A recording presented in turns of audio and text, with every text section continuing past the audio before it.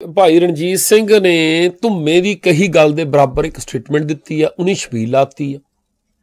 ਛਬੀਲ ਦੇ ਵਿੱਚ ਫਰੂਟੀਆਂ ਵਰਤੀਆਂ, ਉਹ ਨਾਂ ਤੇ ਤੁਸੀਂ ਖੁਜਾਉਨੇ ਆ, ਅਗਲੇ ਨੂੰ ਚੜਾਉਨੇ ਆ ਤੇ ਉਹਨੇ ਜਵਾਬ ਦਿੱਤਾ। ਹੁਣ ਉਸ ਗੱਲ ਤੇ ਡਿਸਕਸ਼ਨ ਕਰਨ ਦੀ ਬਜਾਏ ਤੁਸੀਂ ਇਹ ਕਹਿੰਨੇ ਆ ਵੀ ਪਿਛੋਕੜ ਦੇਖੇ ਆਪਣਾ। ਠੀਕ ਹੈ ਜੀ? ਮੜ ਜਾ ਸੋਚੋ ਕਿ ਜਦੋਂ ਗੁਰੂ ਨਾਨਕ ਦੇਵ ਜੀ ਨੇ ਸਵਾਲ ਉਠਾਏ ਹੋਣਗੇ, ਜਦੋਂ ਭਾਈ ਲੈਣਾ ਜੀ ਪਹਿਲਾਂ ਪਹਿਲਾਂ ਉਹ ਤਾਂ ਚਲੋ ਗੁਰੂ ਨਾਨਕ ਦੇਵ ਜੀ ਦਾ ਅਸੀਂ ਕਹਿੰਨੇ ਪਈ ਆਦ ਗੁਰੂ ਸੀਗੇ। ਫਿਰ ਧੁਰੋਂ ਨਿਰੰਕਾਰ ਦੇ ਕੋਲੋਂ ਬਖਸ਼ਾਂ ਲੈ ਕੇ ਆਏ ਆ, ਜੰਮਦਿਆਂ ਨੂੰ ਦਾਈ ਨੇ ਇਦਾਂ ਹੱਸਦਿਆਂ ਨੂੰ ਦੇਖ ਲਿਆ, ਠੀਕ ਆ। ਆ ਹੋਇਆ, ਕਿੰਨੀਆਂ ਸਾਖੀਆਂ ਅਸੀਂ ਕਰੀਆਂ ਜੋੜੀਆਂ, ਸਮਝਦੇ ਸੀ ਉਹ, ਠੀਕ ਆ। ਭਾਈ ਲੈਣਾ ਜੀ, ਉਹਨਾਂ ਬਾਰੇ ਤਾਂ ਅਸੀਂ ਪੜ੍ਹਦੇ ਆਂ ਪਈ ਉਹ ਜਥੇ ਦੀ ਅਗਵਾਈ ਕਰਕੇ ਦੇਵੀ ਦੇ ਮੰਦਰ ਜਾਂਦੇ ਰਹੇ ਆ ਪੈਰਾਂ 'ਚ ਘੁੰਗਰੂ ਬੰਨ ਕੇ ਨੱਚਦੇ ਰਹੇ ਆ।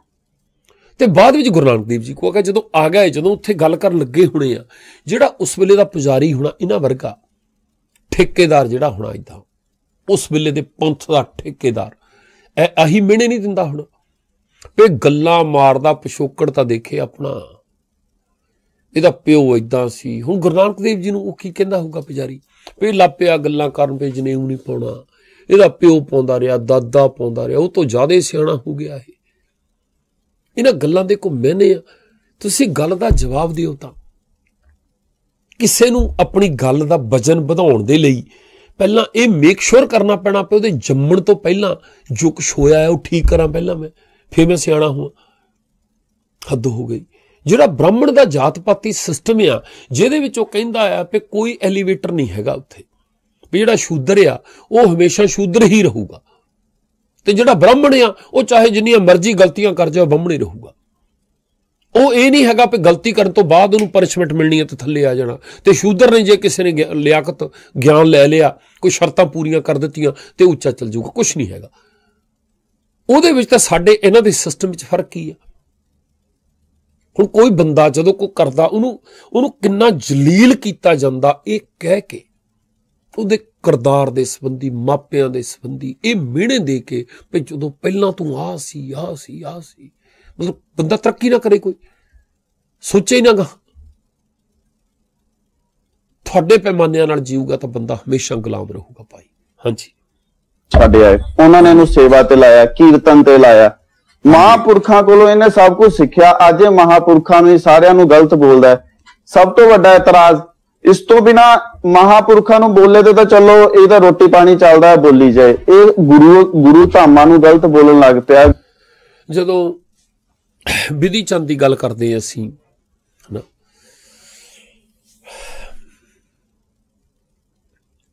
ਭਾਈ ਦਇਆ ਸਿੰਘ ਹੁਣਾਂ ਦੀ ਕਰਦੇ ਆ ਪਿੰਦੇ ਖਾਰਗਿਆਂ ਦੀ ਕਰਦੇ ਆ ਗੁਰੂ ਪਾਤਸ਼ਾਹਾਂ ਦੀ ਕਰਦੇ ਆ ਕਿੰਨੀਆਂ ਸਾਖੀਆਂ ਸਾਡੇ ਕੋਲ ਆ। ਇੱਥੋਂ ਤੱਕ ਸੰਤ ਜਰਨੈਲ ਸਿੰਘ ਭਿੰਡਰਾਂ ਵਾਲਿਆਂ ਦੀ ਕਰਦੇ ਆ ਅਗਲਾ ਕਹਿੰਦਾ ਪੇ ਹੱਦ ਹੋ ਗਈ ਯਾਰ, ਗਿਆਨੀ ਕਹਿੰਦੇ ਠੀਕ ਹੈ ਜੀ, ਸੰਬੰਧ ਸੀਗੇ। ਉਹ ਤਾਂ ਤਾਂ ਸੀਗੇ ਪਈ ਪਈ ਚੱਕ ਕੇ ਹਥਿਆਰ ਅੰਦਰ ਸਾਰਾ ਕੁਝ ਜਮ੍ਹਾਂ ਕਰ ਲਿਆ ਤੇ ਅਸਲ ਮਕਸਦ ਉਹਨਾਂ ਦਾ ਜਿਹੜਾ ਆ ਉਹ ਇਦਾਂ ਹਿੰਦੁਸਤਾਨ ਸਰਕਾਰ ਨਾਲ ਲੜਨਾ ਸੀ।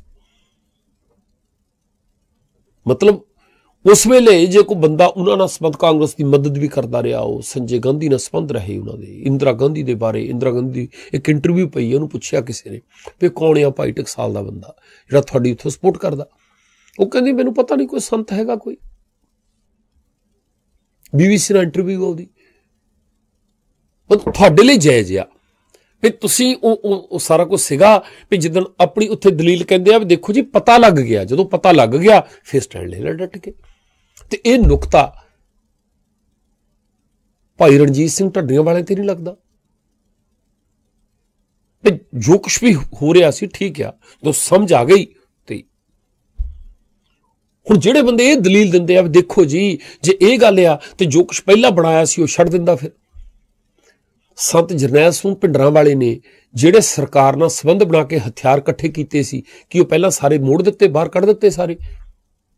ਪਿਆ ਲਓ ਭਾਈ ਆ ਹਥਿਆਰ ਤੁਹਾਡੀ ਪੁਲਿਸ ਦੀ ਨਿਗਰਾਨੀ ਦੇ ਵਿੱਚ ਹੀ, ਟਰੱਕਾਂ ਦੇ ਵਿੱਚ ਐਦਾਂ ਐਦਾਂ ਅੰਦਰ ਆਏ ਆ, ਠੀਕ ਆ? ਇਹ ਇਹ ਹੁਣ ਮੈਂ ਉਦੋਂ ਸੀਗੀ, ਮੈਨੂੰ ਮੈਨੂੰ, ਮੈਂ ਇਹਨਾਂ ਦਾ ਕਰਿੰਦਾ ਹੁਣ ਮੈਂ ਪੰਥ ਵੱਲੋਂ ਹੋ ਕੇ ਸਰਕਾਰ ਨਾਲ ਲੜਨਾ ਚਾਹੁੰਦਾ, ਆ ਚੱਕੋ ਪਹਿਲਾਂ। ਹੁਣ ਅਸੀਂ ਆਪ ਲਿਆਵਾਂਗੇ, ਆਪਣੇ ਬਲਬੂਤੇ ਨਾਲ ਲਿਆ ਕੇ ਦੇਖ ਲੈਂਦਾ ਤਾਂ। ਪੱਤਾ ਵੀ ਨਹੀਂ, ਹਵਾ ਵੀ ਨਹੀਂ ਲੰਘਣ ਦਿੱਤੀ ਅਗਲੇ ਨੇ ਅੰਦਰ। ਇਸ ਕਰਕੇ ਜਦੋਂ ਸਮੁੱਚਤਾ ਦਾ ਧਿਆਨ ਰੱਖਿਆ ਕਰੀਏ। ਜਦੋਂ ਇਲਜ਼ਾਮ ਲਾਉਣਾ ਹੈ ਕਿਸੇ ਤੇ ਦੋਸ਼ ਲਾਉਣਾ ਤਾਂ ਸੋਚ ਸਮਝ ਕੇ ਲਾਈਏ। ਹਾਂਜੀ। ਗੁਰੂ ਅਸਥਾਨਾਂ ਨੂੰ ਗਲਤ ਬੋਲਣ ਲੱਗ ਪਿਆ ਇਹ ਸੰਪਰਦਾਵਾਂ ਨੂੰ ਗਲਤ ਬੋਲਣ ਲੱਗ ਪਿਆ ਦਮਦਮੀ ਟਕਸਾਲ ਤੱਕ ਜਥੇਬੰਦੀ ਦੇ ਬਾਰੇ ਇਹਦੀ ਇਦਾਂ ਦੀ ਸਟੇਟਮੈਂਟ ਆ ਚੁੱਕੀ ਹੈ ਕਿ ਜੀ ਮੇਰਾ ਮਨ ਨਹੀਂ ਮੰਨਦਾ ਕਿ ਇਹ ਗੁਰੂ ਸਾਹਿਬ ਤੋਂ ਤੁਰੀ ਹੈ। ਨਹੀਂ ਮੈਂ ਕਹਿੰਦਾ ਉਹਦੇ ਬਾਰੇ ਪਤਾ ਨਹੀਂ ਹੈ ਜਾਂ ਨਹੀਂ ਹੈ। ਚਲੋ ਮੰਨ ਲਿਆ ਸੀ ਤਾਂ ਹੀ ਕਹਿੰਦੇ ਵੀ ਸੁਣਾ ਕੇ ਗੱਲ ਕਰਿਆ ਕਰੋ ਯਾਰ। ਠੀਕ ਹੈ? ਮੇਰੇ ਨੋਟਸ ਵਿੱਚ ਨਹੀਂ ਆਈ। ਜੇ ਇੰਨੀ ਗੱਲ ਕਹੀ ਆ ਤੇ ਤੇ ਪੰਥ ਲਈ ਬਹੁਤ ਖੁਸ਼ੀ ਦੀ ਕੌਮ ਲਈ ਬਹੁਤ ਖੁਸ਼ੀ ਦੀ ਗੱਲ ਆ ਜਾਣੀ ਇਹ ਜੇ ਇਦਾਂ ਸੋਚਦੇ ਆ ਅਸੀਂ ਵੀ ਨਹੀਂ ਮਨ ਮੰਨਦਾ ਭਾਈ ਗੁਰੂ ਸਾਹਿਬ ਤੋਂ ਚੱਲੀ ਆ ਤੁਹਾਡੀਆਂ ਕਰਤੂਤਾਂ ਦੱਸਦੀਆਂ ਆ, ਠੀਕ ਹੈ ਪਰ ਉਹ ਕਹਿਣਾ ਮਤਲਬ ਇਦਾਂ ਗੁਨਾਹ ਕਾਤੇ ਹੋ ਗਿਆ? ਕਾਤੇ ਲੱਗਦਾ? ਕੋਸ਼ਿਸ਼ ਜੈਨੂਨ ਹੋਣ ਦੀ ਗੱਲ ਬਾਰ-ਬਾਰ ਉੱਥੇ ਆਉਂਦੀ ਆ। ਲੜਾਈ ਲੜਨੀ ਆ, ਫੇਰ ਲੜੀਏ ਅਸੀਂ। ਬੇਬੁਨਿਆਦ ਇਲਜ਼ਾਮ ਲਾ ਕੇ ਨਹੀਂ ਸਰਦਾ। ਹਾਂਜੀ। ਹਾਂਜੀ। ਤੇ ਇਹ ਇਹ ਇਹ ਇਹੋ ਜਿਹੀ ਅਥਾਰਟੀ ਕਿਹੜੀ ਹੈ ਕਿ ਜਿਹਦਾ ਮਨ ਮਨਾਊਗੀ ਸਾਰੀ ਕੌਮ ਬਹਿ ਕੇ? ਇਹਨੂੰ ਕਿੰਨੇ ਅਥਾਰਟੀ ਦਿੱਤੀ ਹੈ ਕਿ ਇਹੋ ਜਿਹੀ ਸਟੇਟਮੈਂਟਾਂ ਦਿੰਦਾ? ਸੋ ਦੂਸਰੀ ਗੱਲ ਨਹੀਂ ਜਾਣੀ ਕਿ ਕਿਸੇ ਬੰਦੇ ਨੂੰ ਸਟੇਟਮੈਂਟ ਦੇਣ ਦਾ ਵੀ ਅਧਿਕਾਰ ਨਹੀਂ ਹੈਗਾ। ਤੇ ਸਾਰੀ ਕੌਮ ਕਦੋਂ ਕਹਿੰਦੀ ਆ ਭਾਈ ਟਕਸਾਲ ਗੁਰੂ ਗੋਬਿੰਦ ਸਿੰਘ ਤੋਂ ਚੱਲੀ ਆ? ਸਰੂਪ ਸਿੰਘ ਦੇ ਮੁੰਡੇ ਨੂੰ ਬੇਨਤੀ ਸਰਵੇ ਕਰਾ ਕੇ ਦੱਸ ਸਾਨੂੰ ਕੌਣ ਕੌਣ ਕਹਿੰਦਾ ਗੁਰੂ ਗੋਬਿੰਦ ਸਿੰਘ ਤੋਂ ਚੱਲੀ ਆ। ਕਿੰਨੀਆਂ ਕਿਤਾਬਾਂ ਲਿਖੀਆਂ, ਦਲਗੀਰ ਨੇ ਤੁਹਾਡੀਆਂ ਧੱਜੀਆਂ ਢਾ ਕੇ ਰੱਖ ਦਿੱਤੀਆਂ। ਕਿਤਾਬਾਂ ਦੇ ਜਵਾਬ ਤਾਂ ਦੇ ਦਿਓ ਤੁਸੀਂ ਉਹਨਾਂ ਦੇ। ਹਿੰਦੂਆਂ ਵਾਲੇ ਨਾ ਆਇਆ ਤੁਹਾਡੇ ਮੁਖੀਆਂ ਦੇ। ਸਰਵੇ ਕਰਾ ਕੇ ਦੱਸ ਦਿਓ ਸਾਨੂੰ ਕੌਮ ਦੇ ਕਿੰਨੇ ਬੰਦੇ ਕਹਿੰਦੇ ਆ, ਕਿੰਨੇ ਜਣੇ ਕਹਿੰਦੇ, ਸਾਡੇ ਨਾਲ ਨੰਬਰ ਦਿਓ ਜਰਾ ਉਹਨਾਂ ਦੇ ਫੋਨ ਨੰਬਰ। ਆਪਣੀ ਵੈਬਸਾਈਟ ਦੇ ਉੱਤੇ ਨਸ਼ਰ ਕਰੋ ਵੀ ਇੰਨੇ ਘਰ ਭਰਤੀ ਇੰਨੇ ਜਣਿਆਂ ਦੇ ਨਾਲ ਸਾਡੀ ਗੱਲ ਹੋਈ ਆ ਜਿਹੜੇ ਮੰਨਦੇ ਆ। ਕੁੱਲ ਮਿਲਾ ਕੇ 10000 ਬੰਦਾ ਥੱਤੋਂ ਨਹੀਂ ਹੋਣਾ, ਮੈਂ ਗਰੰਟੀ ਦੇ ਦਿੰਦਾ। ਤੁਸੀਂ ਤਾਂ ਗੱਲਾਂ ਥੋੜੇ ਜਿਹਾ ਕੋ ਸੈਂਕੜੇ ਬੰਦੇ ਆ ਤੁਸੀਂ, ਸਿਰਫ ਸੈਂਕੜੇ। ਆ ਗਰਜੰਟੇ ਨੇ, ਅਸੀਂ ਤਾਂ ਗੱਲ ਭਾਈ ਰਣਜੀਤ ਸਿੰਘ ਦੀ ਕਰਦੇ ਆ ਨਾ, ਅਸੀਂ ਤਾਂ ਗੱਲ ਉਹਨਾਂ ਦੀ ਸਟੇਟਮੈਂਟ ਦੀ ਕਰਦੇ ਆ। ਦੂਰ ਦੀ ਗੱਲ ਆ ਰੇਡੀਓ ਦੇ ਬਾਬਤ। ਸਾਡੇ ਰੇਡੀਓ ਵਿਰਸੇ ਦੇ ਮੇਰੇ ਨਾਲੇ YouTube ਚੈਨਲ ਦੇ ਖਿਲਾਫ ਇਹਨਾਂ ਨੇ ਆਸਟ੍ਰੇਲੀਆ ਵਾਲਿਆਂ ਨੇ, ਅਮਰੀਕਾ ਤੋਂ ਕਿੰਨੇ ਗੁਰਦੁਆਰਿਆਂ 'ਚ ਜਾ ਜਾ ਕੇ ਇਹਨਾਂ ਨੇ ਪਟੀਸ਼ਨ ਕਰ ਕਰਕੇ ਉੱਥੇ ਇਕੱਠੀ ਇੱਕ ਪਟੀਸ਼ਨ ਪਾਈ ਸੀ ਨਹੀਂ ਵੀ ਭਾਈ, ਇਹ ਚੈਨਲ ਬੰਦ ਹੋਣਾ ਚਾਹੀਦਾ ਨਿਊਜ਼ੀਲੈਂਡ ਦੀ ਪ੍ਰਧਾਨ ਮੰਤਰੀ ਨੂੰ। ਉਹ ਪਟੀਸ਼ਨ ਪਾਉਣ ਵੇਲੇ ਸਾਡੇ 2 ਲੱਖ ਸਬਸਕ੍ਰਾਈਬਰ ਸੀਗੇ। ਉਹ ਚ ਨਹੀਂ ਕਿਹਾ ਸੀ ਵੀ ਲੱਖ ਸਾਈਨ ਲੱਖ ਜਣਾ ਸਾਈਨ ਕਰ ਦਿਓ। ਮੈਨੂੰ ਪਤਾ ਨਹੀਂ, ਮੈਂ ਲੇਟਲੀ ਦੇਖੀ ਨਹੀਂ, ਪਿੱਛੇ ਦੇਖੀ ਸੀ 50000 ਦੇ ਲਾਗੇ ਸੀ ਸ਼ਾਇਦ। ਤੇ ਉਹ ਦੇਖ ਕੇ ਦੱਸ ਦਿੰਨੇ ਤੁਹਾਨੂੰ ਵੀ ਇਹਨਾਂ ਦੇ 50000 ਸਾਈਨ ਉਸ ਵੇਲੇ ਹੋਏ ਸੀ ਤੇ ਸਾਡਾ ਲੱਖ ਸਬਸਕ੍ਰਾਈਬਰ ਹੋ ਗਿਆ ਸੀ। ਤੇ ਹੁਣ ਉਹ ਲੱਖ ਹੋ ਕੇ ਉਹਦੇ ਉੱਤੇ ਫੇਰ 43 44 40000 ਤੋਂ ਉੱਤੇ ਫਿਰ ਹੋ ਗਿਆ। ਇਹਨਾਂ ਤੋਂ ਲੱਖ ਸਾਈਨ ਨਹੀਂ ਕਰਾਈ ਗਏ। ਜਦ ਕਿ ਲੱਖ ਸਾਈਨ ਕਰਾਉਣ ਲਈ ਵੀ ਇਦਾਂ ਨਹੀਂ ਪਈ ਇੱਕ ਕਿੰਨੇ ਕਿੰਨੇ ਜਣੇ ਇੱਕ ਬੰਦਾ ਕਿੰਨੀਆਂ ਹੀ ਆਡੀਆਂ ਬਣਾ ਕੇ ਕਰ ਸਕਦਾ ਸੀ। ਉਹ ਗੁਰਦੁਆਰਿਆਂ 'ਚ ਗਏ ਆ ਸਾਨੂੰ ਕੋਈ ਬੰਦਾ ਕਹਦਾ ਕਿ ਕਿਸੇ ਨੂੰ ਅਸੀਂ ਕਦੇ ਇੱਥੋਂ ਕਿਹਾ ਹੋਵੇ ਇਦਾਂ ਫੋਨ ਕਰਕੇ, ਮੈਸੇਜ ਕਰਕੇ ਵੀ ਭਾਈ ਤੁਸੀਂ ਰਿਸ਼ਤੇਦਾਰਾਂ ਨੂੰ ਕਹੋ। ਧੰਨਵਾਦ ਆ ਤੁਹਾਡਾ ਸਾਰਿਆਂ ਦਾ ਜਿਨ੍ਹਾਂ ਨੇ ਜਿਨ੍ਹਾਂ ਨੇ ਸਾਥ ਦਿੱਤਾ ਸਾਡਾ। ਠੀਕ ਆ? ਪਰ ਕੋਈ ਜਣਾ ਇਹ ਕਹਿਦਾ ਪਿਆ ਅਸੀਂ ਕਿਹਾ ਹੋਵੇ ਕਦੇ ਇਸ ਚੀਜ਼ ਨੂੰ ਕਿ ਇਹਦੇ ਤੋਂ ਕੋ ਅਸੀਂ ਬਹੁਤ ਬੈਨੀਫਿਸ਼ਰੀ ਹੋ ਜਾਣਾ, ਇਹਦੇ ਰਾਹੀਂ ਸਾਨੂੰ, ਤੁਹਾਨੂੰ ਚੰਗੀ ਲੱਗਦੀ ਗੱਲ ਤੁਸੀਂ ਸੁਣਨੀ ਆ, ਕਰੋ, ਠੀਕ ਹੈ, ਵਧੀਆ ਗੱਲ ਆ। ਸ਼ੁਕਰਾਨਾ ਆ ਉਹਨਾਂ ਦਾ ਜਿਹੜੇ ਸਾਥ ਦੇ ਰਹੇ ਆ, ਠੀਕ ਹੈ। ਪਰ ਇਹਦੇ ਨਾਲ ਇਹ ਥੋੜੋ ਪਿਆ ਅਸੀਂ ਇਦਾਂ ਗੁਲਾਮ ਹੋਵਾਂਗੇ, ਅਸੀਂ ਗਿਰਾਂਗੇ। ਤੇ ਹੁਣ ਤੁਸੀਂ ਹਾਂ ਗੱਲ ਕਰਦੇ ਆ, ਸਰਵੇ ਕਰਾ ਦਿਓ ਭਾਈ। ਮੈਂ ਅੱਗੇ ਵੀ ਕਿਹਾ ਸੀ, ਟਕਸਾਲ ਵਾਲੇ ਵੈਬਸਾਈਟ ਬਣਾ ਲੈਣ। ਵੈਬਸਾਈਟ ਦੇ ਉੱਤੇ ਉਹ ਬੰਦਿਆਂ ਦੇ ਨਾਂ ਐਡਰੈਸ ਪਾਓ, ਸਾਰਾ ਕੁਝ ਇਦਾਂ ਠੀਕ ਆ? ਅਜੇ ਤੁਹਾਡੀ ਗੁੰਡਾਗਰਦੀ ਆ, ਜਿਹਦੇ ਕਰਕੇ ਲੋਕ ਤੁਹਾਡੇ ਮੂਹਰੇ ਖੰਡ ਤੋਂ ਬੋਲਣ ਤੋਂ ਡਰਦੇ ਆ। ਤੁਹਾਡਾ ਸਾਥ ਨਹੀਂ ਦੇਣਾ ਚਾਹੁੰਦਾ ਕੋਈ ਵੀ। ਜਿਹੜੇ ਬੰਦਿਆਂ ਨੂੰ ਤੁਸੀਂ ਗੱਲ ਕਰਦੇ ਨਾ, ਉਹਨਾਂ ਨੂੰ ਲੋਕਾਂ ਤੋਂ ਪੈਸੇ ਇਕੱਠੇ ਕਰ ਕਰਕੇ 50000 ਇਕੱਠਾ ਕਰ ਲਿਆ 30000 ਜੇਬ 'ਚ ਪਾ ਲਿਆ 20000 ਵੰਡ ਦਿੱਤਾ। ਉਹ ਉਹਨਾਂ ਅਹਿਸਾਨਾਂ ਦੇ ਮਾਰੇ ਹੋਏ ਆ, ਤਾਂ ਨਹੀਂ ਬੋਲ ਰਹੇ ਹੋ।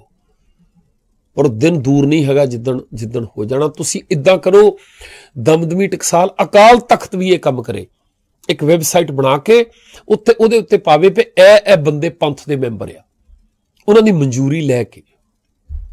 ਮੈਂ ਗਰੰਟੀ ਦੇ ਦੇਣਾ ਉਹ ਜੋ ਤੀਜਾ ਹਿੱਸਾ ਜਿੰਨੇ ਵੀ ਪਾ ਦੋਗੇ ਤੁਸੀਂ, ਤੀਜਾ ਹਿੱਸਾ ਇੱਥੇ ਫੋਨ ਕਰਕੇ ਅਸੀਂ ਸਾਹਮਣੇ ਬਣਾ ਦੇਵਾਂਗੇ ਤੁਹਾਡੇ।